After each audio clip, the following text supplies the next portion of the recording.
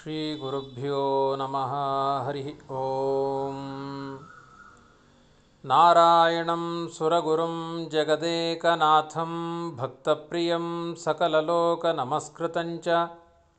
त्रैगुण्यवर्जितमजं विभुमाद्यमीशं वन्दे भवग्नममरासुरसिद्धवन्द्यम् नारायणं नमस्कृत्य नरं चैव नरोत्तमं देवीं सरस्वतीं व्यासं ततो जयमुदीरयेत्।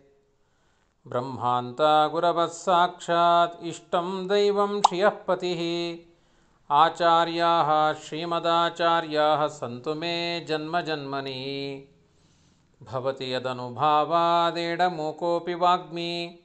जडमतिरपि जन्तुर्जायते प्राज्ञमौलिः सकलवचनचेतो देवता भारती सा मम वचसि निधत्तां सन्निधिं मानसे च। अस्मद्गुरुसमारम्भां टीकाकृत्पादमध्यगां श्रीमदाचार्यपर्यन्तां वन्दे गुरुपरम्पराम् आपादमौलिपर्यन्तं गुरूणामाकृतिं स्मरेत्तेन विघ्नाः प्रणश्यन्ति सिद्ध्यन्ति च मनोरथाः ಸ್ವಸ್ತ್ಯಸ್ತು ಸತಾಂ ಅಶೇಷ ಸನ್ಮಂಗಳಾನಿ ಭವಂತು. ಹದಿನೆಂಟನೇ ಅಧ್ಯಾಯದ ಮಂಗಳದ ಸಮಾರಂಭದಲ್ಲಿ ಭಾಗವಹಿಸಿದ ನಿಮ್ಮನ್ನೆಲ್ಲ ಸ್ವಾಗತಿಸ್ತಾ ಹದಿನೆಂಟು ದಿನಗಳ ಕಾಲ ಎಡಬಿಡದೆ ಕಂಪ್ಯೂಟರ್ ಮುಂದೆ ಕಂಪ್ಯೂಟರ್ ಮಾನವನಾಗಿ ಕುಳಿತು ನಮಗೆಲ್ಲ ಸಹಕರಿಸಿದ ನಮ್ಮ ಪ್ರಸಾದ ಮತ್ತೆ ಶಶಿಪ್ರಭಾ ದಂಪತಿಗಳು ಇದ್ದಾರೆ. ಅವ್ರನ್ನ ಆರಂಭದಲ್ಲಿ ಅಭಿನಂದಿಸ್ತಾ, ಅವ್ರು ಮಾಡಿದ ಈ ಪರಿಶ್ರಮದಿಂದ ನಿಮಗೆಲ್ಲ ಇಷ್ಟು ಜನ ಶ್ರವಣ ಆಗಿದೆ. ನಮ್ಮ ಮನೆಯಲ್ಲೂ ಒಂದು ಐದಾರು ಜನ ಬಂದು ಶ್ರವಣ ಮಾಡ್ತಾ ಇದ್ದಾರೆ. ಅವರನ್ನು ಅಭಿನಂದಿಸ್ತಾ ಹದಿನೆಂಟನೇ ಅಧ್ಯಾಯದ ಚಿಂತನೆಯನ್ನ ಮಧ್ವವಲ್ಲಭ ಗೋಪಾಲಕೃಷ್ಣನಿಗೆ ಇವತ್ತು ಸಮರ್ಪಣೆ ಮಾಡೋಣ. ಕಥೆ ತುಂಬಾ ಕುತೂಹಲಕಾರಿಯಾಗಿದೆ. ಅಂದ್ರೆ ತುಂಬಾ ಜಟಿಲವಾಗಿದೆ ಕಥೆ. ಅದರ ಸಮನ್ವಯವನ್ನ ದೇವತಾನುಗ್ರಹದಿಂದ ನಾವು ಸರಿಯಾಗಿ ಮಾಡಿಕೊಳ್ಬೇಕಾಗಿದೆ. ಕಥೆ ಹೇಳೋದು ತುಂಬಾ ಕಷ್ಟ. ಆದ್ರೂ ಕೂಡ ಯಥಾಶಕ್ತಿ, ಯಥಾಮತಿ ದೇವರು ಪ್ರೇರಣೆ ಮಾಡಿದ ಹಾಗೆ ಹದಿನೆಂಟನೇ ಅಧ್ಯಾಯದ ಕಥೆಯನ್ನ ನಿರೂಪಣೆ ಮಾಡಿ ಗೀತಾ ಮಹಾತ್ಮೆಯನ್ನು ಅರ್ಥ ಮಾಡಿಕೊಂಡ ನಾವು ಇಷ್ಟು ದಿನಗಳ ಕಾಲ ಅವಿರತವಾಗಿ ಭಗವದ್ಗೀತೆಯನ್ನ ಶ್ರವಣ ಮಾಡಿದ್ದೇವೆ.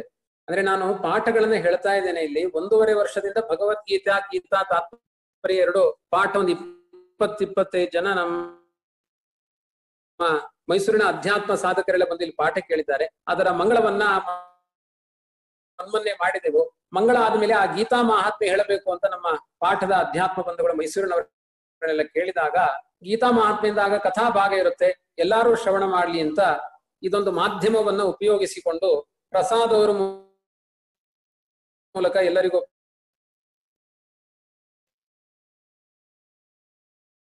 ಪ್ರಚಾರ ಮಾಡುವಂತಹ ಒಂದು ಸನ್ನಿವೇಶ ಈಗ ಒದಗಿ ಬಂದಿದೆ. ಒಂದೂವರೆ ವರ್ಷದ ಪಾಠದ ಮಂಗಳ ಒಂದು ರೀತಿಯಲ್ಲಿ. ಭಗವತೆ ಕೇಳಿ ಕೊನೆಗೆ ಅದರ ಫಲಶ್ರುತಿ ಕೇಳಬೇಕು ಅಂತ ಇದೆ. ಮೊದಲೇ ಫಲಶ್ರುತಿ ಕೇಳ್ಬಿಡೋದಲ್ಲ. ಈ ಸೂಕ್ತ ಎಲ್ಲ ಹೇಳಿದ ಮೇಲೆ ಆಮೇಲೆ ಯಶುಚಿ ಪ್ರಯತೋ ಭೂತ್ವ ಅಂತ ಫಲಶ್ರುತಿ ಆರಂಭ ಆಗುತ್ತೆ. ಆ, ಫಲಶ್ರುತಿ ಎಲ್ಲ ಕೊನೆಗೆ ಸಮಗ್ರ ಮಹಾಭಾರತ ಹೇಳಿದ ಮೇಲೆ ಹರಿವಂಶ ಅನ್ನೋದು ಫಲಶ್ರುತಿ ಆಗುತ್ತೆ. ವಿಷ್ಣು ಸಹಸ್ರನಾಮ ಆದ್ಮೇಲೆ ಫಲಶ್ರುತಿ. ಹಾಗೆ ಮೊದಲ ಆಚಾರ್ಯರು ತುಂಬಾ ಒಪ್ಪಿಕೊಂಡ, ಅಪ್ಪಿಕೊಂಡ ಕೃತಿ ಭಗವದ್ಗೀತೆ. ವೇದವ್ಯಾಸ ದೇವರು ಪ್ರತ್ಯಕ್ಷವಾಗಿ ಬಂದು ಆಚಾರ್ಯರ ಭಾಷ್ಯಗಳಿಗೆ ಒಲಿದಿದ್ದಾರೆ ಅಂತ ಭಾಷ್ಯಾನುಸಾರಿಯಾದ ಚಿಂತನೆಗಳನ್ನ ಯಥಾಶಕ್ತಿ ನಾವೆಲ್ಲ ಸೇರಿ ನಡೆಸಿದ್ದೇವೆ. ಅದರ ಸಮರ್ಪಣೆಯನ್ನು ಇವತ್ತು ಮಧ್ವವಲ್ಲಭನಾದ ಗೋಪಾಲಕೃಷ್ಣನ ಪಾದಾರವಿಂದಗಳಲ್ಲಿ ಇದು ಒಂದು ಪರ್ವಕಾಲವೇ ಗುರುವಾರ ಸನ್ನಿಹಿತವಾಗಿದೆ. ಆ ಗುರುಗಳು ಮುಂದಿದ್ದಾರೆ. ಆದ್ರಿಂದ ಗುರುಗಳ ದ್ವಾರ ಇದನ್ನ ಸಮರ್ಪಣೆ ಮಾಡೋಣ ಅಂತ ಆರಂಭದಲ್ಲಿ ಒಂದು ನಾಲ್ಕು ಮಾತುಗಳನ್ನು ಆಡ್ತಾ ಇವತ್ತಿನ ಕಥಾಭಾಗಕ್ಕೆ ಪ್ರವೇಶ ಮಾಡ್ತಾ ಇದ್ದೇನೆ. ವಿಶೇಷವಾಗಿ ಹದಿನೆಂಟನೇ ಅಧ್ಯಾಯದ ಅಧ್ಯಾಯ ಬಹಳ ಸತ್ವಪೂರ್ಣವಾದ ಅಧ್ಯಾಯ. ಅಂದ್ರೆ ಏನು ಹದಿನೇಳು ಅಧ್ಯಾಯಗಳ ಸಾರ ಇದೆ ಅದೆಲ್ಲವನ್ನು ಸಂಗ್ರಹ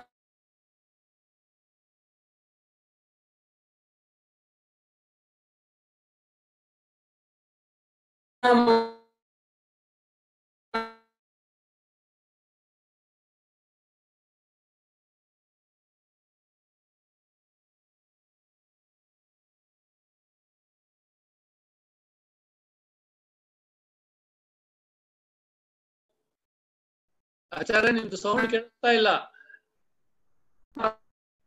ಒಳ್ಳೆ ಹೆಂಡತಿ ಅಂತ ಅಭಿನಂದಿಸ್ತಾರೆ ಯಾಕೆಂದ್ರೆ ಸೀರೆ ತೆಗೆಸಿಕೊಡಿ, ಅದು ತೆಗೆಸಿಕೊಡಿ ಅಂತ. ಇಲ್ಲ, ನೀವೆಲ್ಲ ಕೇಳ್ತಾ ಇರೋರು ಒಳ್ಳೆಯವರಿದ್ದೀರಿ ಏನೇನೋ ಅಪೇಕ್ಷೆಗಳನ್ನ ಮುಂದಿಡ್ತಾರೆ. ಆದ್ರೆ ನೀನು ಅದು ಯಾವ್ದು ಕೇಳದೆ ದೇವರ ಕಥೆ ಮಾಡಿದ್ರು ನೀವು ವಿಸ್ತಾರವಾಗಿ ಹೇಳೋದು ಕೇಳ್ತಾ ಇದೆಯಲ್ಲ? ಹೆಂಡತಿ ಸಂತತಿ ಸಾವಿರವಾಗಲಿ ಅಂತ ಮೊದಲು ರುದ್ರದೇವರು ಹೇಳಿದ್ರು. ಆಮೇಲೆ ಪುರಂದರದಾಸ ಹೇಳಿದ್ರು. ಆದ್ರಿಂದ ಅವರ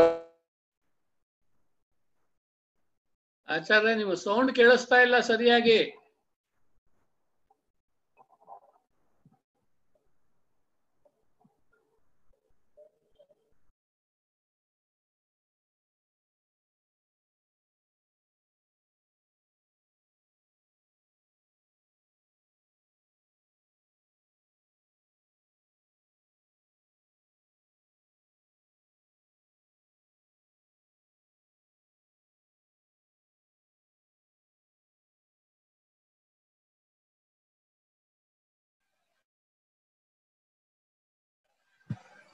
ಸಿದ್ಧ ಪುರುಷರೆಲ್ಲ ಸಿದ್ಧಿಯನ್ನ ಹೇಗೆ ಪಡಿತಾರೆ ಅಂದ್ರೆ ಭಗವದ್ಗೀತೆಯ ಮೂಲಕ ಸಿದ್ಧಿಯನ್ನ ಪಡಿತಾರೆ. ಅಂಥ ಶ್ರೇಷ್ಠವಾದ ಸಿದ್ಧಿಯನ್ನ ಉಂಟು ಮಾಡುವಂತಹ ಕೃಷ್ಣನ, ಆ, ಮಹಿಮೆಯನ್ನ ಹೇಳುವಂತಹ ಒಂದು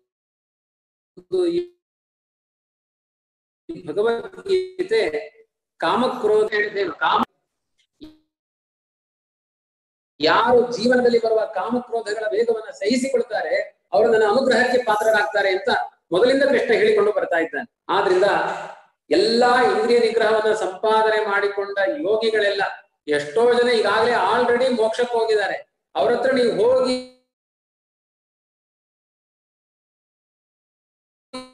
ಸಂದರ್ಶನ ತಗೊಂಡ್ರೆ ಅವ್ರು ಏನ್ ಹೇಳ್ತಾರೋ ಅರ್ಥ ಮಾಡಿಕೊಳ್ಳಿ. ಇವತ್ತಲ್ಲ ನಾಳೆ ನಿಮಗೂ ಮೋಕ್ಷ ಆಗ್ಬೇಕು ಅಂದ್ರೆ ಗೀತೆ ಎನ್ನುವ ಔಷಧಿಯನ್ನ, ಗೀತೆ ಎನ್ನುವ ಸಾರವನ್ನ, ಅಮೃತವನ್ನ ಪಾನ ಮಾಡಿ ನಿಮಗೂ ಇವತ್ತಲ್ಲ ನಾಳೆ ಮೋಕ್ಷ ಆಗುತ್ತೆ.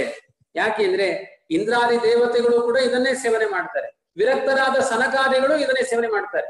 ಜಗತ್ತಿಗೆಲ್ಲ ಒಂದೇ ಔಷಧಿ. ಸಂಸಾರವೆಂಬ ರೋಗದಿಂದ ಕಚ್ಚಿಸಿಕೊಂಡಿರುವಂತಹ ಚೇತನ ವರ್ಗಕ್ಕೆಲ್ಲ ಒಂದೇ ಔಷಧಿ, ಗೀತಾ ಅಂತ. ಅದನ್ನ ಆವೃತ್ತಿ ಮಾಡಿದ್ರೆ ಯಾವ್ದ್ಯಾವ್ದಕ್ಕೂ ತಾಗಬೇಡಿ, ಗೀತಾ ಗೀತಾ ಅಂದ್ರೇನು ತಾಗಿ ತಾಗಿ ತಾಗಿ ಅಂತ ಬರುತ್ತೆ. ಯಾವ್ದ್ಯಾವ್ದಕ್ಕೂ ತಾಗಬೇಡಿ. ಭಗವದ್ಗೀತೆಗೆ ತಾಗಿ, ಗೀತಾ ಗೀತಾ, ತಾಗಿ ತಾಗಿ ತಾಗಿ, ಗೀತಾ ಗೀತಾ ಅಂತ ಬರುತ್ತೆ. ಹಾಗೆ ವಿಶೇಷವಾಗಿ ಅಂತಹ ಭಗವದ್ಗೀತೆಯ ಪಾರಾಯಣ, ಪಠನ, ಅದರ ಶ್ರವಣ, ಅದೆಲ್ಲವೂ ನಮ್ಮ ಪಾಪಗಳ ವಿರುದ್ಧ ಗರ್ಜನೆ ಮಾಡುವ ಸಿಂಹಧ್ವನಿ ಇದ್ದ ಹಾಗೆ ಅಂತ ಅದರ ಮಹತ್ವವನ್ನು ವರ್ಣನೆ ಮಾಡಿದ್ದಾರೆ. ತ್ರಿವಿಧವಾದ ಪಾಪಗಳನ್ನ. ಯಾವುದು? ಕಾಯಕೃತ, ಮನಕೃತ, ವಾಚನಿಕ. ಆಯ್ತಾ? ಮಾತಿನಿಂದ ಮಾಡಿದ ಪಾಪ, ಮನಸ್ಸಿನಿಂದ ಮಾಡಿದ ಪಾಪ, ದೇಹದಿಂದ ಮಾಡಿದ ಪಾಪಗಳನ್ನ ಶುದ್ಧಿ ಮಾಡುವ ಸಾಮರ್ಥ್ಯ, ನಿರ್ಮೂಲನ ಮಾಡುವಂತಹ ಸಾಮರ್ಥ್ಯ ಭಗವದ್ಗೀತೆಗಿದೆ. ಹೇಳ್ತಾರೆ ಅದರ ಮಹತ್ವ ಎಷ್ಟು ಅಂತ. ಹದಿನೆಂಟನೇ ಅಧ್ಯಾಯ, ಈಗ ಅದರ ಮಹತ್ವವನ್ನು ಹೇಳಬೇಕು. ಹದಿನೆಂಟನೇ ಅಧ್ಯಾಯವು ಶ್ರೇಷ್ಠವಾಗಿದೆ. ಹೇಗೆ ಶ್ರೇಷ್ಠ ಆಗಿದೆ ಅಂದ್ರೆ, ದೇವತೆಗಳಲ್ಲಿ ಇಂದ್ರ ಹೇಗೋ, ಮುನಿಗಳಲ್ಲಿ ಬೃಹಸ್ಪತಿ ಹೇಗೋ, ಪಾನ, ಪಾನೀಯ ಪದಾರ್ಥಗಳಲ್ಲಿ ಅಮೃತ ಹೇಗೋ, ಪರ್ವತಗಳಲ್ಲಿ ಹಿಮಾಲಯ ಹೇಗೋ, ನಕ್ಷತ್ರಗಳಲ್ಲಿ ಚಂದ್ರ ಹೇಗೋ, ತೀರ್ಥಗಳಲ್ಲಿ ಪುಷ್ಕರ ಹೇಗೋ, ಪುಷ್ಪಗಳಲ್ಲಿ ಕಮಲ ಪುಷ್ಪ ಹೇಗೋ, ಸುಮಂಗಲಿ ರಲ್ಲಿ ಪತಿವ್ರತೆಯಾದ ಅರುಂಧತಿ ಹೇಗೋ? ವಸಿಷ್ಠಸ್ಯ ಪಿರುಂಧಾತಿ. ಒಂದು ಬಾರಿ ಗಂಡನಿಗೆ ಬೈದಿಲ್ಲಂತೆ ನೋಡಿ ಅವಳು, ಅರುಂಧತಿ. ಆಯ್ತಾ? ಅರುಂಧತಿ ಅಂತ ಹೆಸರಿಟ್ಟ ತಕ್ಷಣ ಏನ್ ಪ್ರಯೋಜನ ಆಗಲ್ಲ. ಅರುಂಧತಿ ಗಂಡನಿಗೆ ಬೈದೇ ವ್ಯಕ್ತಿತ್ವ ಯಾರದ್ದು ಅಂದ್ರೆ ಅರುಂಧತಿ. ಅದಕ್ಕೆ ಅಧಿಕಾರನ್ನ ಬೆಳಿಗ್ಗೆ ಹೋಗಿ ತೋರಿಸ್ತಾನೆ. ಅಂದ್ರೆ ಅರುಂಧತಿಯ ತರ ನಿನ್ನ ಪಾತಿವ್ರತೆ ಡೈವೋರ್ಸ್ ಕೊಡಬೇಡ ಅಂತ ಮೊದಲನೇ ಪ್ರಾರ್ಥನೆ ಅದು. ಆಯ್ತಾ? ಪತಿವ್ರತ ಸ್ತ್ರೀರಲ್ಲಿ ಅರುಂಧತಿ ಹೇಗೋ?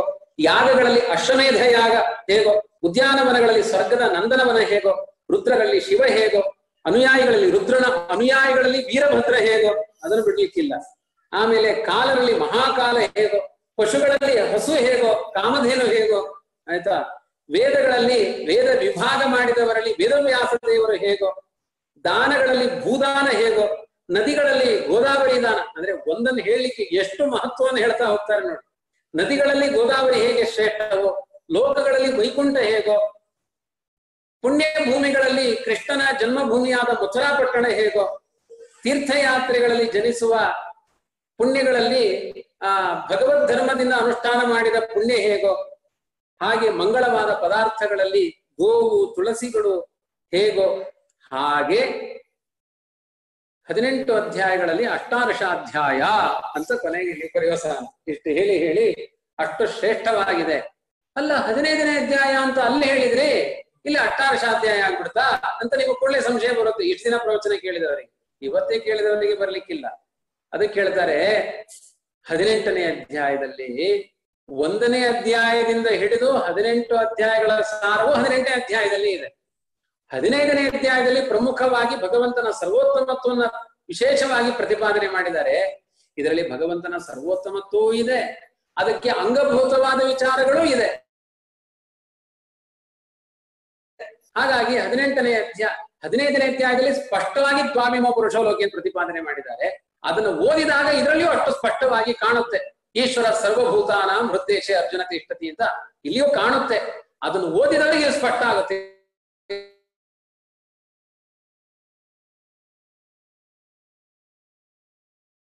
ಇಲ್ಲ ಅಂದ್ರೆ ಸ್ಪಷ್ಟ ಆಗಲ್ಲ. ಹಾಗಾಗಿ ಹದಿನೆಂಟನೇ ಮಹತ್ವ ತುಂಬಿದ್ರೆ ಏನು? ಹದಿನೆಂಟು ಅಧ್ಯಾಯಗಳಿಗೆ ಮಹತ್ವ ತುಂಬಿದ ಹಾಗೆ. ಒಂದ್ ವೇಳೆ ಹದಿನೆಂಟು ಅಧ್ಯಾಯಗಳನ್ನ ಪಾರಾಯಣ ಮಾಡ್ಲಿಕ್ಕೆ ಆಗಿಲ್ಲ ಅಂದ್ರೆ ಹದಿನೆಂಟನೇ ಅಧ್ಯಾಯ ಆದ್ರೂ ಪಾರಾಯಣ ಮಾಡಿ, ಅವಾಗ ಹದಿನೆಂಟು ಅಧ್ಯಾಯಗಳ ಪಾರಾಯಣ ಮಾಡಿದ ಪುಣ್ಯ ಇದೆ ಅಂತ ಆ ಅಭಿಪ್ರಾಯದಲ್ಲಿ ಈ ರೀತಿಯಾಗಿ ಮಹಾತ್ಮೆಯನ್ನು ಹೇಳಿದ್ದಾರೆ. ಆ ಸಂದರ್ಭದಲ್ಲಿ ಗಿರಿಜೆಗೆ, ಪಾರ್ವತಿಗೆ ರುದ್ರದೇವರು ಹೇಳ್ತಾರೆ, ಇಂಥ ಶ್ರೇಷ್ಠವಾದ ಅಡ್ವರ್ಟೈಸ್ಮೆಂಟ್ ತುಂಬಾ ಕೊಟ್ಟಿದ್ದೇನೆ ಹದಿನೆಂಟನೇ ಅಧ್ಯಾಯಕ್ಕೆ. ಇಂಥ ಶ್ರೇಷ್ಠವಾದ ಹದಿನೆಂಟನೇ ಅಧ್ಯಾಯದ ಕತೆ ಹೇಳಲಿಕ್ಕೆ ಆರಂಭ ಮಾಡ್ತಾ ಇದ್ದೇನೆ. ವ್ಯವಧಾನದಿಂದ ಕೇಳು, ಆಚೆ ಪಾತ್ರೆ, ಹಾಲು ಹೀಟರ್ ಮೇಲೆ ಇಟ್ಟಿದ್ದೀನಿ. ಈಚೆ ಮಕ್ಕಳು ಟ್ಯೂಷನ್ ಮಾಡ್ತಾ ಇದ್ದಾರೆ. ಆಚೆ ಇನ್ನೇನೋ ಕೆಲಸ ಇದೆ. ನಾಳೆ ತರಕಾರಿ ಹೆಚ್ಚಬೇಕು. ಇದೆಲ್ಲ ನಿನ್ ಮನಸ್ಸನ್ನ ಹಾಳು ಮಾಡ್ಕೊಂಡು ಕತೆ ಕೇಳಬೇಡ. ಇಲ್ಲೇ ಮನಸ್ಸಿಟ್ಟು ಕೇಳು. ಸಾವಿರ ಕೆಲಸ ಬಿಟ್ಟು ದೇವರ ಕಥೆ ಕೇಳು. ಯಾಕೆಂದ್ರೆ ನೀನು ಮಾಡುವ ಸಾವಿರ ಕೆಲಸಗಳ ನಡುವೆ ಈ ದೇವರ ಕಥೆ ಕೇಳುವಷ್ಟು ಒಳ್ಳೆ ಕೆಲಸ ಇನ್ನೊಂದು ಯಾವುದೂ ಇಲ್ಲ. ಮತ್ ಮುಕ್ಕಾಲು ಗಂಟೆ ಮಾತ್ರ, ಇನ್ ಇಪ್ಪತ್ನಾಲ್ಕು ಗಂಟೆ ಕೇಳ್ತಾ ಕೂತ್ರೆ ತರಕಾರಿ ಹೆಚ್ಚೋರು ಯಾರು? ಆದ್ರಿಂದ ಸದ್ಯಕ್ಕಂತೂ ಕೇಳು ಅಂತ ಇಷ್ಟು ವ್ಯಾಪಾರಗಳನ್ನ ಹೇಳಿದ್ದಾರೆ. ವಿಶೇಷವಾಗಿ ಅಮರಾವತಿ ಎನ್ನುವ ಪಟ್ಟಣವನ್ನ ದೇವಶಿಲ್ಪಿಯಾದ ವಿಶ್ವಕರ್ಮ ನಿರ್ಮಾಣ ಮಾಡಿದ್ದಾನೆ. ವಿಶೇಷವಾಗಿ ಕೋಟಿ ಕೋಟಿ ಜ್ಞಾನಿಗಳು ಆ ಸ್ವರ್ಗ ಪಟ್ಟಣವನ್ನ ಅಲಂಕರಿಸ್ತಾ ಇದ್ದಾರೆ, ಸೇವಿಸ್ತಾ ಇದ್ದಾರೆ. ಅಷ್ಟು ಚೆನ್ನಾಗಿದೆ. ವಿಶ್ವಕರ್ಮನಿಂದ ನಿರ್ಮಿತವಾದ ಸ್ವರ್ಗ ಬಹಳ ರಮಣೀಯವಾದದ್ದು. ತುಂಬಾ ಚೆನ್ನಾಗಿ ಅಧ್ಯಾತ್ಮ ಚಿಂತನೆ ಮಾಡಿದ ವ್ಯಕ್ತಿಗಳಿಗೆ ಆ ಅಮರಾವತಿಯ ದರ್ಶನ ಆಗುತ್ತೆ. ವಿಶೇಷವಾಗಿ ಆ ಜಾಗದಲ್ಲಿ ಇಂದ್ರನ ಮುದ್ದಿನ ಮಡದಿಯಾಗಿರುವಂತಹ ಶಚಿಯ ವಿಹಾರ ಭೂಮಿಯಾಗಿದೆ. ದೇವ ಗಂಧರ್ವ ಕನ್ಯೆ ಎಲ್ಲ ಗಾನ ಮಾಡ್ತಾ ಇರ್ತಾರೆ, ಅಪ್ಸರ ಇರ್ತಾರೆ ಇಂತಹ ಸುಧಾರಸವನ್ನ ಪಾನ ಮಾಡುವುದರಲ್ಲೇ ಎಲ್ಲರೂ ಕೂಡ ತನ್ಮಯರಾಗಿರ್ತಾರೆ. ಇಂಥ ಒಂದು ಸುಂದರವಾದ ಸ್ವರ್ಗಲೋಕದಲ್ಲಿ ಒಂದು ಬಾರಿ ಇಂದ್ರ ಆ ಎಲ್ಲಾ ವೈಭವ ಪರಿಕರಗಳ ಜೊತೆಗೆ ತಾನೇ ರಾಜಾದಿರಾಜ ಸಾರ್ವಭೌಮ, ದೇವಲೋಕದ ಸಾರ್ವಭೌಮ ಅಂತ ಮೆರಿತಾ ಇದ್ದ. ಇದ್ದಕ್ಕಿದ್ದಾಗೆ ಒಬ್ಬ ಶ್ರೇಷ್ಠನಾಗಿರುವಂತಹ ಕಾಂತಿಯುಕ್ತನಾದ ದಿವ್ಯ ಪುರುಷ ಆ ಸ್ವರ್ಗಕ್ಕೆ ಬಂದ. ಅವನು ಬಂದಾಗ ಅವನ ಕಣ್ಣುಗಳು ಸಾವಿರ, ಅವನಿಗೂ ಸಾವಿರ ನೇತ್ರಗಳು. ಇಂದ್ರನ ಹಾಗೆ ಸಾವಿರ ನೇತ್ರಗಳಿತ್ತು. ಮೈ ಕಾಂತಿಗಳು ಸೂರ್ಯನ ಮುಂದೆ ಆ ಅವನ ಕಾಂತಿ ಎಷ್ಟು ಚೆನ್ನಾಗಿತ್ತು ಅಂದ್ರೆ ಅವನ ಕಾಂತಿಯ ಮುಂದೆ ಇಂದ್ರನ ಕಾಂತಿ ನೆಗ್ಲೆಕ್ಟ್ ಆಗೋಯ್ತಂತೆ. ಸೂರ್ಯನ ಮುಂದೆ ಮಿಣುಕಿನ ಹುಳದ ಹಾಗೆ ಹೋಗ್ನಂತೆ ಇಂದ್ರ. ಅಂಥ ದೇದೀಪ್ಯಮಾನವಾದ ಕಾಂತಿ. ಇವನಲ್ಲಿಯೂ ಸಾವಿರ ಕಣ್ಣುಗಳು ಅಷ್ಟು ಹೊಳಿ ಹೊಳಿತಾ ಇದ್ದ. ಅವನ ಕಾಂತಿಯನ್ನು ನೋಡಿ ಸೂರ್ಯನ ಮುಂದೆ ಹೋದ ಮಿಣುಕು ಹೊಳು ಧವಕ್ಕಂತ ಹೇಗೆ ಬಿದ್ದು ಬಿಡುತ್ತೆ.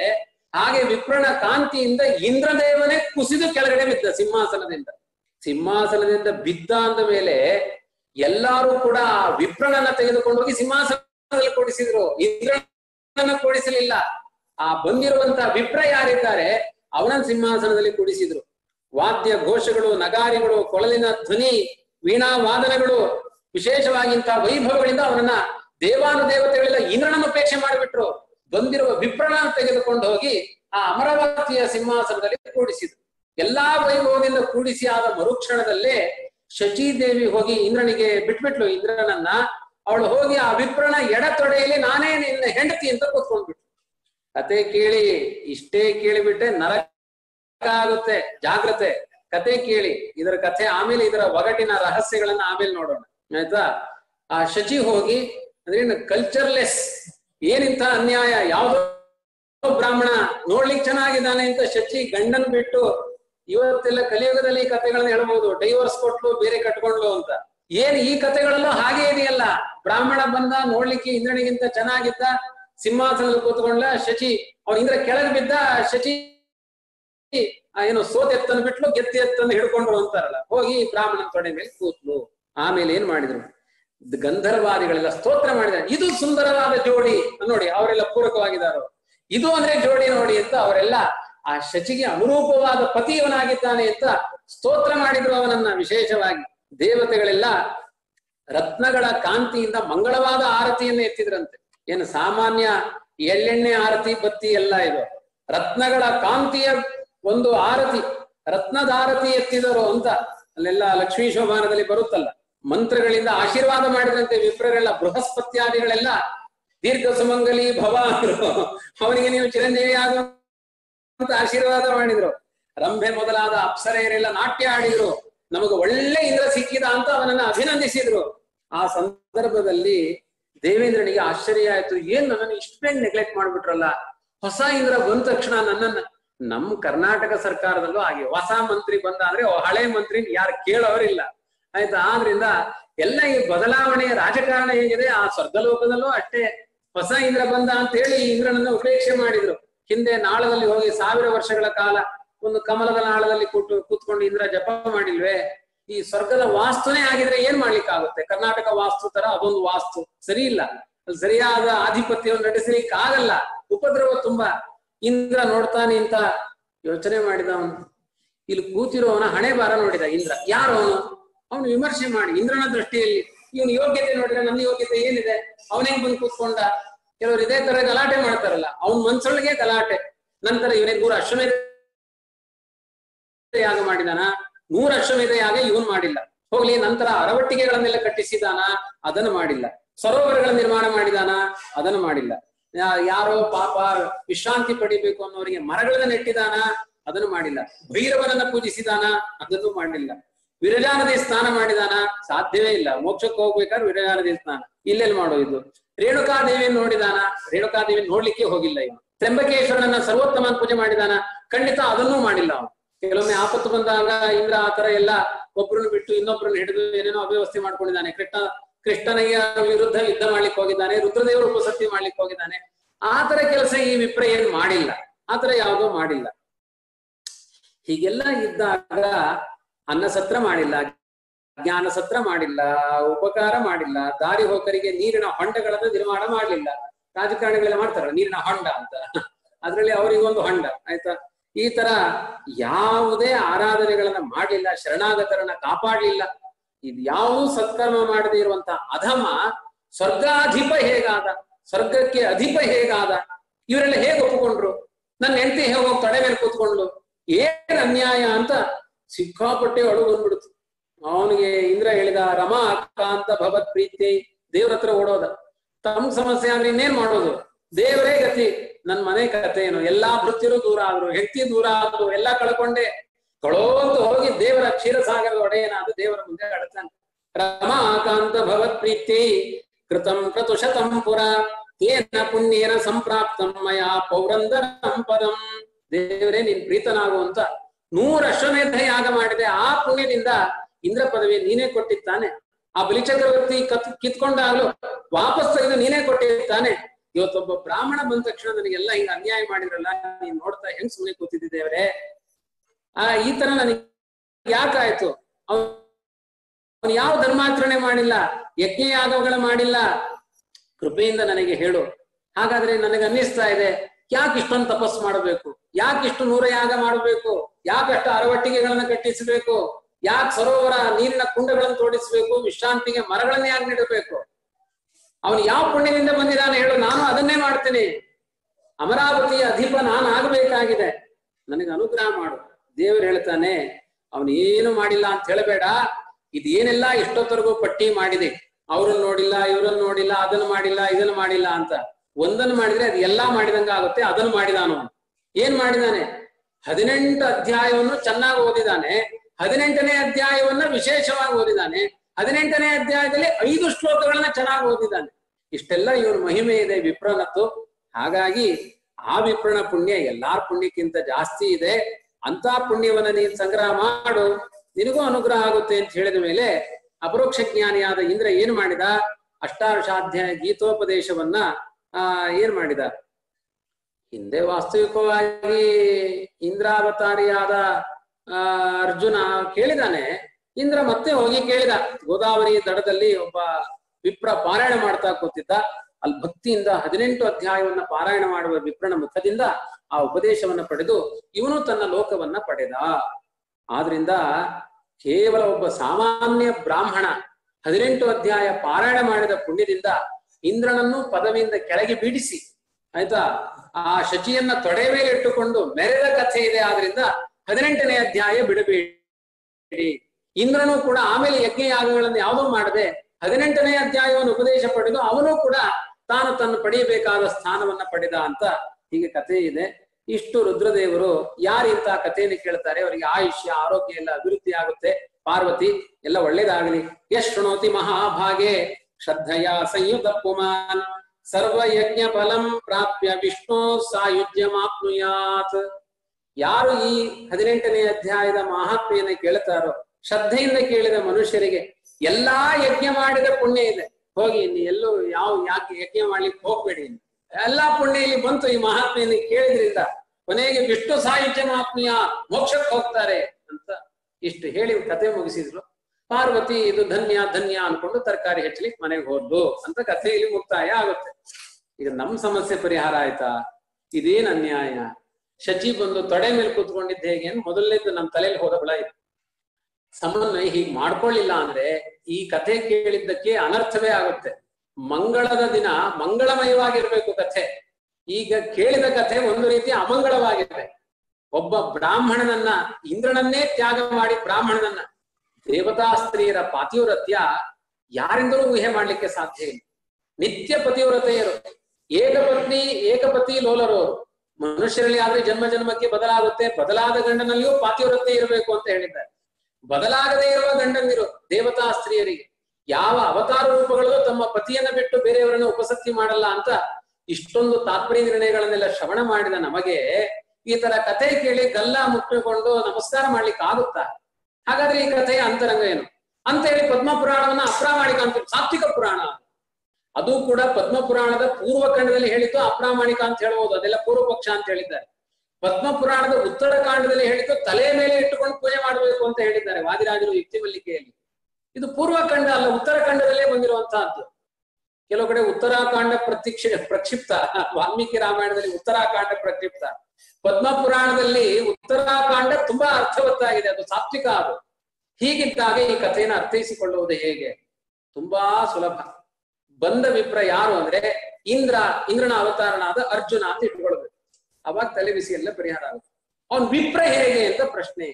ಇಲ್ಲಿ ನೋಡಿ, ಭಗವದ್ಗೀತೆ ಉಪದೇಶ ಮಾಡಿದ್ದು ಅರ್ಜುನನಿಗೆ. ಅರ್ಜುನ ಉಪದೇಶ ಕೇಳಬೇಕಾದ್ರೆ ಬ್ರಾಹ್ಮಣ ಧರ್ಮವನ್ನ ಅನುಷ್ಠಾನ ಮಾಡ್ತಾ ಇದ್ದ. ಉಪದೇಶ ಕೇಳಬೇಕಾದ್ರೆ ಬ್ರಾಹ್ಮಣ ಧರ್ಮ ಅಂದ್ರೆ ಏನು? ಅವನು ಕ್ಷಾತ್ರ ಧರ್ಮ.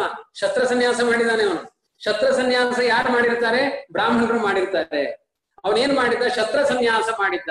ನಾನು ಕಾಡಿ ಹೋಗಿ ಬ್ರಾಹ್ಮಣರ ತರ ಜಪತಪ ಅನುಷ್ಠಾನ ಮಾಡ್ತೀನಿ ಅಂತ ಹೇಳ್ತಾ ಇದ್ದ. ಹದಿನೆಂಟನೇ ಅಧ್ಯಾಯದ ತನಕನೂ ಕೂಡ ಬ್ರಾಹ್ಮಣ ಸ್ವಭಾವದವನಾಗಿ ಭಗವದ್ಗೀತೆಯನ್ನ ಕೇಳಿದ. ಅಲ್ಲ, ಅವನು ಬ್ರಾಹ್ಮಣ ಭಾವದಿಂದ ಕೇಳಿದ್ದಷ್ಟೇ, ಅವನೇನು ಬ್ರಾಹ್ಮಣ ಅಲ್ಲ, ಅವನು ಕ್ಷತ್ರಿಯನೇ ಅಂದ್ರೆ ಆಚಾರ್ಯರೇ ವ್ಯಾಖ್ಯಾನ ಮಾಡ್ತಾರೆ ಛಾಂದೋದ್ಯಾದಿ ಉಪನಿಷತ್ತುಗಳಲ್ಲಿ. ದೇವತೆಗಳಿಗೆ ಎಲ್ಲಾ ವರ್ಣಗಳಿದೆ, ಎಲ್ಲಾ ಅವಸ್ಥೆಗಳಿದೆ. ದೇವಾಯೇವ ಬ್ರಹ್ಮಚಾರಿಣ, ದೇವಾಯೇವ ಗೃಹಸ್ಥಾಹ ದೇವಾಯೇವ ವಾನಪ್ರಸ್ಥಾಹ ದೇವತೆಗಳು ಬ್ರಹ್ಮಚಾರಿಗಳು ಹೌದು, ಗೃಹಸ್ಥರು ಹೌದು, ವಾನಪ್ರಸ್ಥಾಶ್ರಮಿಗಳು ಹೌದು. ಹಾಗೆ ದೇವತೆಗಳು ಬ್ರಾಹ್ಮಣರು ಹೌದು, ಕ್ಷತ್ರಿಯರು ಹೌದು, ವೈಶ್ಯರು ಹೌದು. ಹಾಗಾಗಿ ದೇವತೆಗಳಿಗೆ ಎಲ್ಲಾ ಅವಸ್ಥೆಗಳು ಇದೆ. ಎಲ್ಲಾ ಅವಸ್ಥೆಗಳು ಇರೋದ್ರಿಂದ ಬ್ರಾಹ್ಮಣ ಅವಸ್ಥೆಯೂ ಇದೆ ಉಪನಿಷತ್ತಿನ ಪ್ರಕಾರ. ಈಗಂತೂ ಬ್ರಾಹ್ಮಣ ಭಾವದಲ್ಲಿ ಇದ್ದಾನೆ ನಾನು ಯುದ್ಧ ಮಾಡಲ್ಲ ಅಂತ ಬ್ರಾಹ್ಮಣ ಭಾವದಲ್ಲಿ ಇದ್ದಾನೆ ಕ್ಷತ್ರಿಯ ಭಾವ ಎಲ್ಲಿ ಹುಟ್ಟಿತು?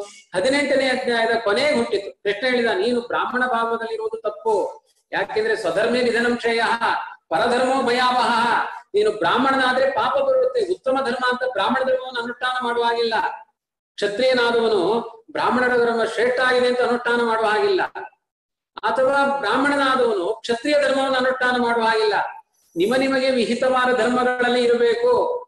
ಅದೆಲ್ಲ ಉಪದೇಶ ಕೇಳುವ ಕಾಲದಲ್ಲಿ ಹೇಗಿದ್ದ ಅಂದ್ರೆ ಬ್ರಾಹ್ಮಣ ಸ್ವಭಾವದವನಾಗಿದ್ದ.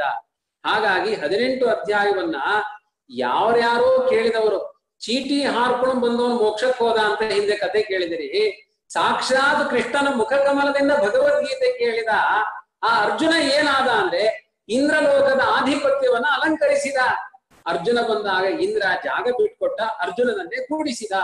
ಮತ್ತೆ ಗೀತಾಪಾರಾಯಣ ಮಾಡಿ ಅರ್ಜುನನಲ್ಲಿ ಐಕ್ಯ ಹೊಂದಿದ. ಸರಿ ಆಗೋಯ್ತು ಕಥೆ ಎಲ್ಲ.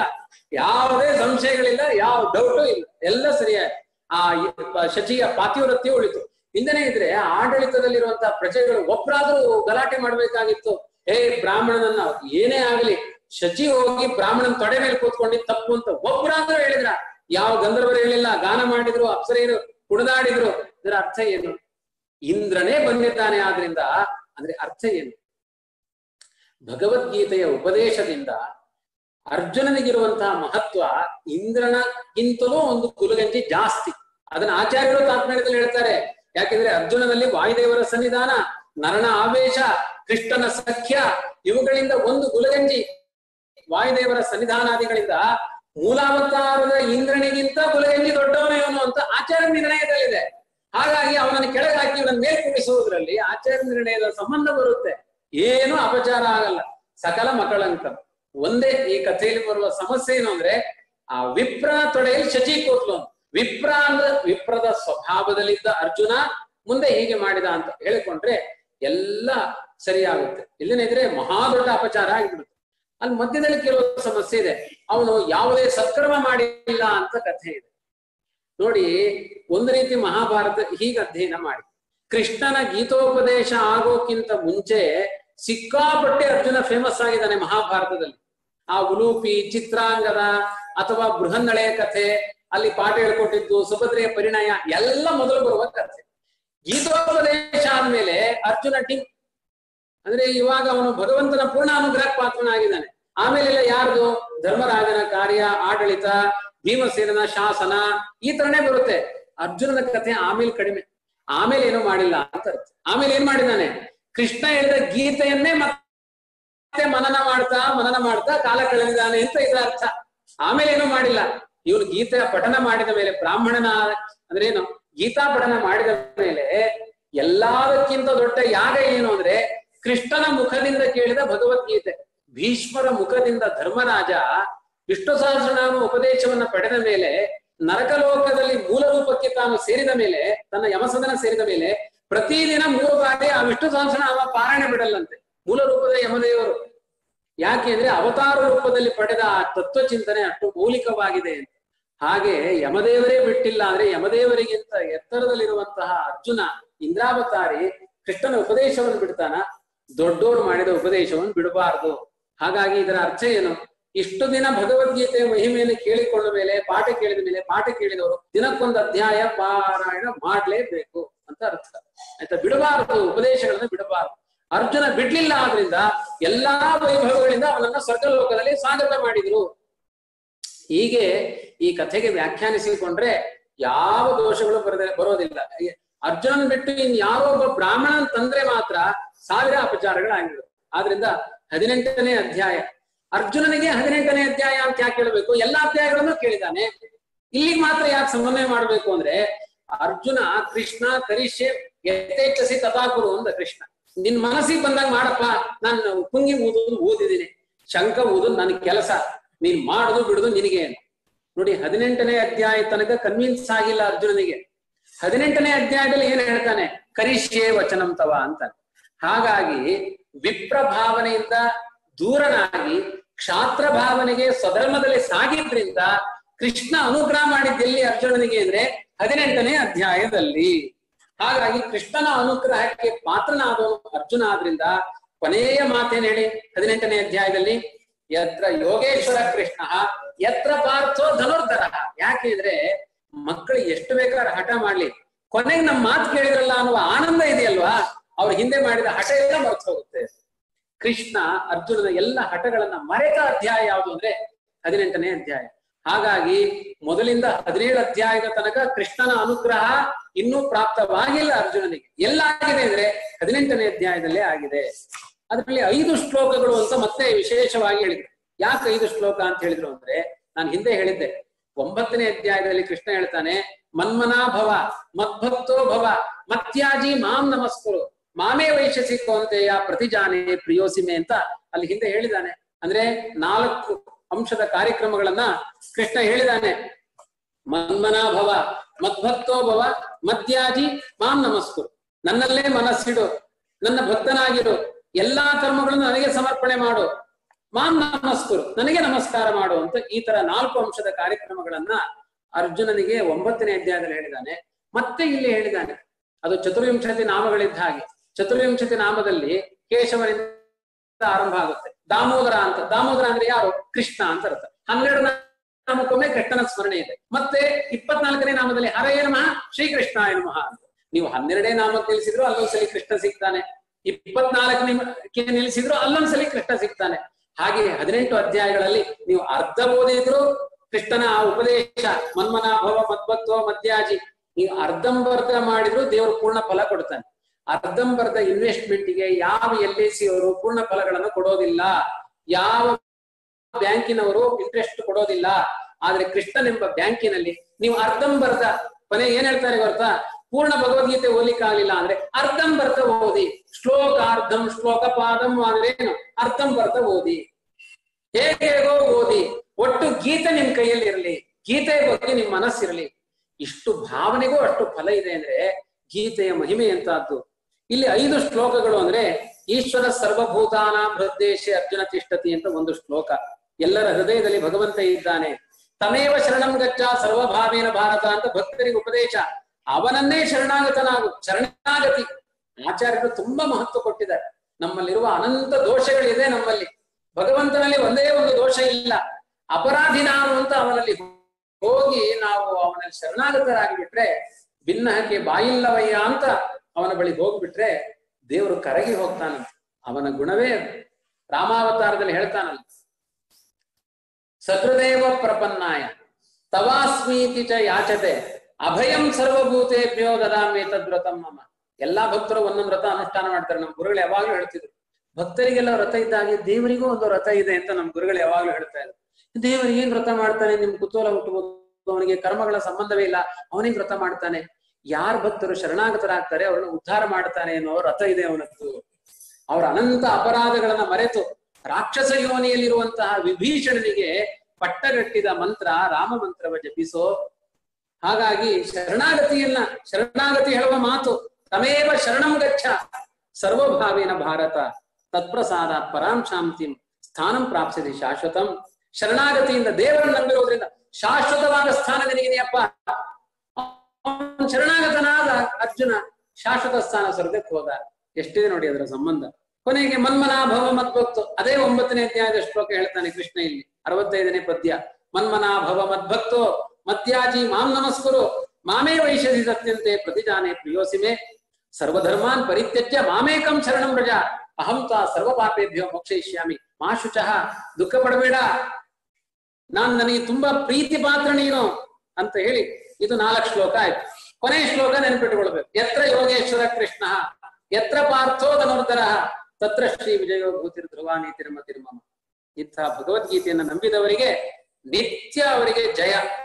ಅವರಿಗೆ ಸಂಪತ್ತು, ವಿಜಯ, ನಿರಂತರ ಆಗುತ್ತೆ. ಇದು ನಿಶ್ಚಯ ಧ್ರುವ.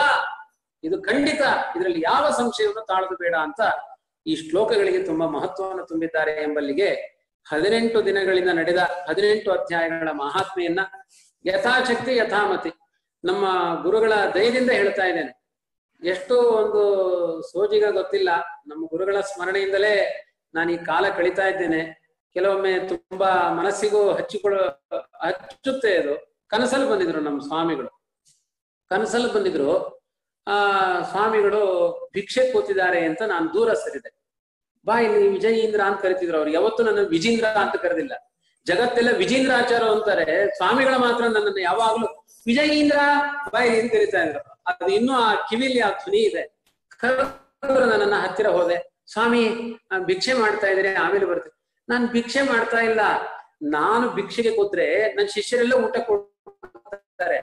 ಇಲ್ಲ ಅಂದ್ರೆ ಕೊಡಲ್ಲ ಅಂತ ಅವ್ರನ್ನೆಲ್ಲ ಇಲ್ಲಿ ಊಟ ಕೊಡ್ಸಿದೀನಿ ನೋಡು. ನಾನ್ ಜಪ ಮಾಡ್ತಾ ಇದ್ದೀನಿ ಅಂದ್ರು ಕನ್ಸಲ್ ಬಂದ್ರು. ಇದೇ ಕೆಲಸ ಮಾಡ್ತಿದ್ರು ಅವರು. ಫಲಾರ ಮಾಡಿ, ನಾ ಮಾಡ್ತೀನಿ ಅಂತ ಅನ್ನೋದು ಗೋಪಾಲ ಅಂತ ಅಡಿಗೆ ತುಂಬಾ ಸಿಟ್ಟು ಅವನಿಗೆ. ನೀವು ಮಾಡಿದ್ರೆ ನಾನ್ ಮಾಡ್ತೀನಿ, ಇಲ್ಲಾಂದ್ರೆ ಮಾಡಲ್ಲ ಅಂತಿದ್ದ. ಸೊ ನಾನು ಫಲಾರ ಮಾಡ್ತೀನಿ ಅಂತ ಮನೆ ಮುಂದೆ ಹೋಗಿ ಕೂತ್ಕೊಳ್ಳೋರು ಎಲ್ಲ ಐಟಮ್ ಮಾಡಿರ್ತಿದ್ದ, ವಿದ್ವಾಂಸರಿಗೆಲ್ಲ ಬಡಿಸಿ ಸಂತೋಷ ಪಟ್ಟು ನನಗೆ ಇವತ್ತು ಹಸಿವಿಲ್ಲ, ಹಾಲು ಕುಡಿತೀನಿ ಅನ್ನೋ ಅವ್ನು ಸಿಟ್ ಮಾಡ್ಕೊಡ್ತಿದ್ದ ಅಂತ ಕಾರುಣ್ಯ ಅವರದ್ದು.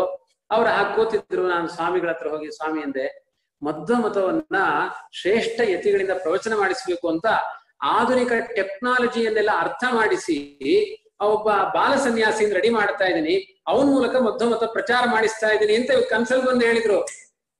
ಅವಾಗ ನನಗೊಂದು ಸಮಾಧಾನ ಆಯ್ತು, ಸ್ವಾಮಿ, ನಾನು ಟೆಕ್ನಾಲಜಿ ಮೂಲಕನೇ ಗೀತಾ ಮಹಾತ್ಮ ಹೇಳ್ತಾ ಇದ್ದೀನಿ ಅಂತ ಮನ್ಸಲ್ಲಿ ಎಚ್ಚರ ಆದ್ಮೇಲೆ ಅನ್ಕೊಂಡೆ, ಅವ್ರ ಮುಂದೆ ಹೇಳಿಲ್ಲ ಜೂಮ್ ಅಲ್ಲಿ ಪಾಠ ಮಾಡ್ತಾ ಇದ್ದೀನಿ ಅಂತ. ಕನಸಲ್ಲಿ ಬಂದವ್ರು ಏನ್ ಮಾಡಿದ್ರು ಅಂದ್ರೆ ಮಧ್ವ ಮತವನ್ನೆಲ್ಲ ಈಗ ಪ್ರಾಚೀನ ಕಾಲದ ಪದ್ಧತಿಯಲ್ಲಿ ಪ್ರವಚನ ಮಾಡಿದ್ರೆ ಯಾರು ಕೇಳೋರಿಲ್ಲ. ಆಧುನಿಕ ಟೆಕ್ನಾಲಜಿ ಎಲ್ಲ ಅರ್ಥ ಮಾಡಿಸಿದ ಒಬ್ಬ ಬಾಲ ಸನ್ಯಾಸಿ ಮತ್ತೆ, ಅವನು ತುಂಬಾ ತೇಜಸ್ವಿಯಾಗಿದ್ದ. ಅವನ ಹಿಂದ್ಗಡೆ ಸ್ವಾಮಿಗಳ ಹಿಂದೆ ಕೂತಿದ್ರು ಅವರು ಆ ಸನ್ಯಾಸಿಗಳು. ಅವರಿಗೆಲ್ಲ ನಾನು ತಯಾರು ಮಾಡ್ತಾ ಇದ್ದೀನಿ. ಅವ್ನ ಮುಂದೆ ಬಂದು ಅವನು ಪಾಠ ಪ್ರವಚನಗಳನ್ನೆಲ್ಲ ಇವ್ರು ಮಾಡ್ತಾರೆ ಅಂತ. ಅಂದ್ರೆ ಮುಂದಿನ ಉತ್ತರಾಧಿಕಾರಿ ಅವರಿಗೆ ಹೇಗೆ ತಯಾರು ಮಾಡಬೇಕು, ಶಿಕ್ಷಣ ಕೊಡಬೇಕು ಅನ್ನೋದನ್ನೆಲ್ಲ ಈಗ ವಿಶ್ವಪ್ರಸನ್ನ ತೀರ್ಥರು ನಡೆಸ್ತಾ ಇದ್ದಾರೆ ತುಂಬಾ ಚೆನ್ನಾಗಿ.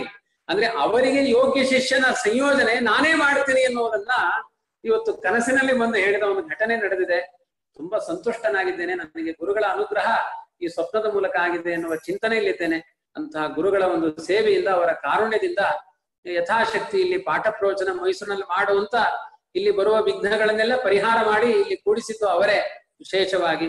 ಅವರ ದಯದಿಂದ ಇದು ನಿರ್ವಿಘ್ನವಾಗಿ ನಿರಂತರ ನಡೆಯುವಂತೆ ಆಗಲಿ ಅಂತ ಗುರುಗಳನ್ನೇ ಪ್ರಾರ್ಥನೆ ಮಾಡಿ, ನಮ್ಮ ತಂದೆ ತಾಯಿಗಳನ್ನು ಕೂಡ ಸ್ಮರಣೆ ಮಾಡಿ, ಎಲ್ಲ ನನ್ನ ಜೊತೆಗಿರುವಂತಹ ಅನೇಕ ಸಾಧಕರಿದ್ದಾರೆ ಮೈಸೂರಿನ ಭಕ್ತವೃಂದದವರು, ಅವರ ಅಧ್ಯಾತ್ಮ ಚಿಂತಕರು. ಹತ್ತಿಪ್ಪತ್ತು ವರ್ಷಗಳಿಂದ ಇಲ್ಲಿ ನಿರಂತರ ಪಾಠ ಪ್ರವಚನಗಳಲ್ಲಿ ಆಸಕ್ತಿಯಿಂದ ಭಾಗವಹಿಸ್ತಾ ಇದ್ದಾರೆ. ಅವರನ್ನ ಅಭಿನಂದಿಸ್ತಾ ಹೊಸದಾಗಿ ಇಂಥ ಒಂದು ಪಾಠ ಪ್ರವಚನದ ಕಾವೇರಿಯ ಈ ಪ್ರವಾಹದಲ್ಲಿ ಉಪಪ್ರಯಾಗಗಳು ಅಂತ ಇರುತ್ತೆ, ಕವಲುಗಳು ಅಂತ. ಹಾಗೆ ಅನೇಕ ಸಾಧಕರು ಬಂದು ಸೇರ್ಕೊಂಡಿದ್ದಾರೆ. ಅಂದ್ರೆ ಝೂಮ್ ಮೂಲಕ ಬಂದು ಜಾಯಿನ್ ಆಗಿದ್ದಾರೆ. ಅವರನ್ನು ಎಲ್ಲ ಅಭಿನಂದಿಸ್ತಾ, ಮೊದಲೇ ತಿಳಿಸಿದಂತೆ ನಮ್ಮ ಪ್ರಸಾದ್ ಅವರು ಬಹುತೇಕ ಎರಡೂವರೆ, ಮೂರು ತಿಂಗಳಿಂದ ಅವ್ರು ಯಾವತ್ತೋ ಒಂದು ದಿನ ನೀವು ಝೂಮ್ ಅಲ್ಲಿ ಪಾಠ ಮಾಡಬಾರದು ನಂಗೆ ಝೂಮ್ ಅಂತ ಆ ಶಬ್ದಕ್ಕೆ ನಗು ಬಂತು. ನನಗೆ ಕ್ಯಾಮ್ರಾದಲ್ಲಿರುವ ಝೂಮ್ ಮಾತ್ರ ಗೊತ್ತು ಇದ್ಯಾವ ಝೂಮ್ ಅಂತ ಕೇಳಿದೆ ಅವ್ರ ಹತ್ರ ಅವತ್ತು. ಅವರೆಲ್ಲ ನಿಮ್ಗೆ ನಾನು ಹೇಳ್ತೀನಿ, ಅದರ ಕ್ರಮದಲ್ಲಿ ಮಾಡಿ ಎಂದು. ಅದು ಬೆಮ್ಮತ್ತಿಯಿಂದ ಭಾಗವತರಿಂದ ಆರಂಭ ಆಗಿ ಭಗವದ್ಗೀತೆಯಲ್ಲಿ ಮುಕ್ತಾಯ ಆಗ್ತಾ ಇದೆ. ಈಗ ಒಂದು ಹಂತದಲ್ಲಿ, ಆ, ನನ್ನ ಹತ್ರನೇ ಒಂದು ಝೂಮಿನ ವ್ಯವಸ್ಥೆಯನ್ನ ಅವರು ಜಯಶ್ರೀ, ಜಯಸಿಂಹ ದಂಪತಿಗಳು ಮಾಡಿದ್ದಾರೆ. ಹಾಗಾಗಿ ಈಗ ಎಲ್ಲಾ ಕಡೆ ಝೂಮ್ ಹಿಡ್ಕೊಂಡೇ ಹೋಗೋದು ಈಗ. ಝೂಮಿನ ಮೂಲಕ ಪಾಠ ಪ್ರವಚನ, ಝೂಮ್. ಆಯ್ತಾ? ಆದ್ರಿಂದ ಅದರ ಮೂಲಕ ಪಾಠ ಪ್ರವಚನಗಳು ದೇವರ ದಯದಿಂದ ಹೀಗೆ ನಿರ್ವಿಘ್ನವಾಗಿ ನಡಿಲಿ. ಸಾವಿರ ಆಪತ್ತುಗಳು ಬಂದ್ರು ಅವನ ಸ್ಮರಣೆ ಎನ್ನುವ ಸಂಪತ್ತು ನಮ್ಮ ಪಾಲಿಗೆ ಒದಗಿ ಬರಲಿ ಅಂತ ನಾವೆಲ್ಲ ಪ್ರಾರ್ಥನೆ ಮಾಡೋಣ ಅಂತ ಹೇಳ್ತಾ ಎಲ್ಲರನ್ನೂ ಹೃತ್ಪೂರ್ವಕವಾಗಿ ಮತ್ತೆ ಮತ್ತೆ ಅಭಿನಂದಿಸಿ. ಭಗವದ್ಗೀತೆಯನ್ನ ಇಲ್ಲಿಗೆ ಮುಗಿತು ಅಂತ ಚಿಂತನೆ ಮಾಡಬೇಡಿ. ಇಲ್ಲಿಯ ತನಕ ಆಚಾರ ಹೇಳ್ತಿದ್ರು, ಇನ್ನು ಮೇಲೆ ನಮ್ಮ ಪಾಳಿ ನಾವು ಹೇಳ್ತೀವಿ ಅಂತ ಎಲ್ಲಾರು ಅದನ್ನ ಶ್ರವಣ ಮಾಡಿ, ಅದನ್ನ ಪಠನ ಮಾಡಿ.